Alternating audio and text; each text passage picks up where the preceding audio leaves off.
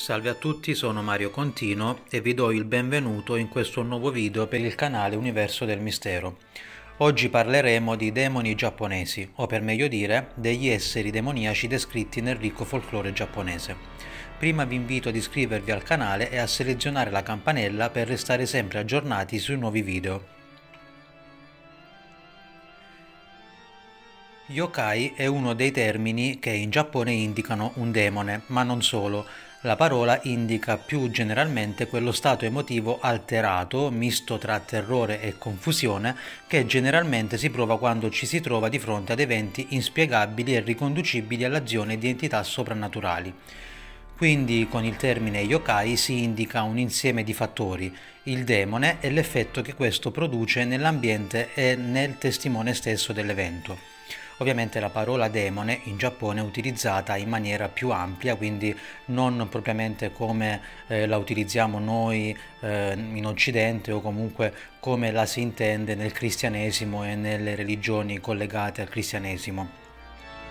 Tra gli yokai è possibile distinguere diverse specie di esseri, ad esempio troviamo gli oni, eh, raffigurati come mostri rabbiosi simili ai troll del folklore europeo, con molti occhi, eh, corna, pelle di colore rosso o bluastro ed una grande mazza chiodata in mano.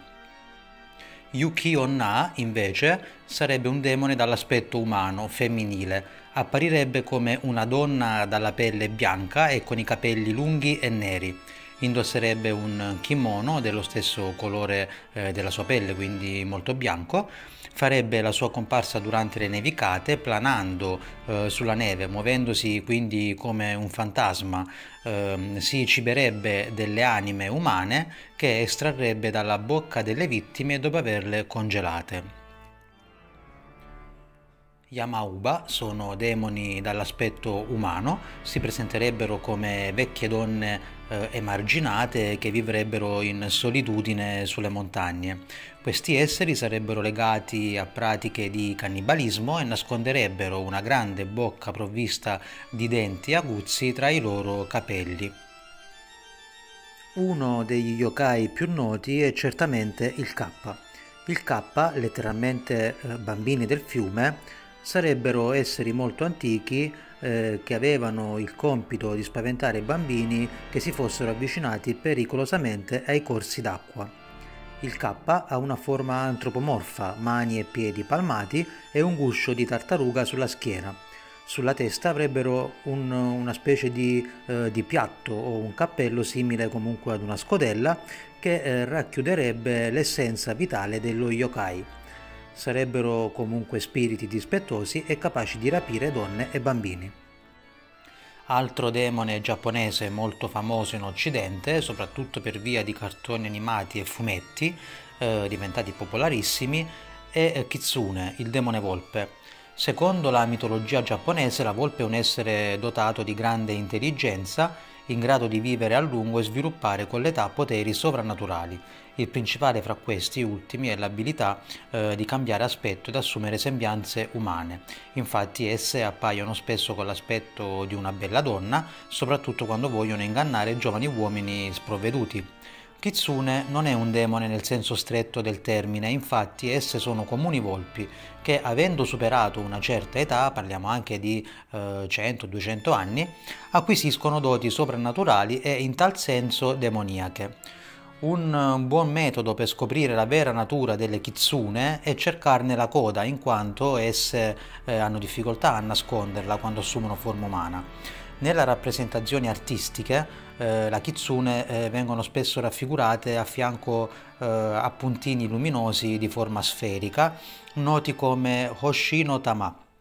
Questi punti vengono descritti anche come globi incandescenti, sfere di fuoco, questo perché la figura stessa della volpe è associata al fuoco e in questo caso si parla di fuochi di volpe, noti come kitsunebi. Gli yurei, invece, sono una delle tipologie più popolari eh, ed antiche eh, fra gli yokai.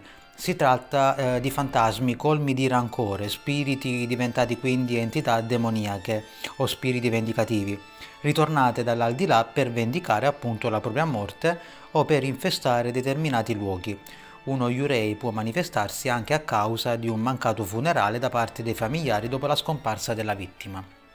Secondo la eh, tradizione, questi spiriti mantengono le sembianze della loro precedente vita, compresi i vestiti indossati eh, e le ferite che avrebbero poi causato la loro morte. Avrebbero lunghi capelli neri che nasconderebbero il loro viso dall'aspetto inquietante o terrificante.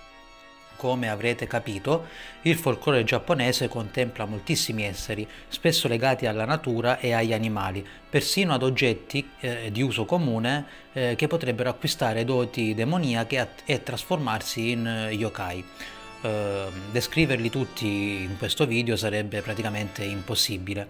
Manga ed anime famosissimi come Inuyasha, ad esempio, un manga shonen scritto e disegnato da uh, Rumiko uh, Takahashi, eh, hanno contribuito ad esportare nel mondo il folklore giapponese e a divulgare le leggende su diversi tipi di yokai, eh, alcuni dei quali eh, sono paragonabili ai folletti eh, o ad altri esseri descritti nel folklore occidentale.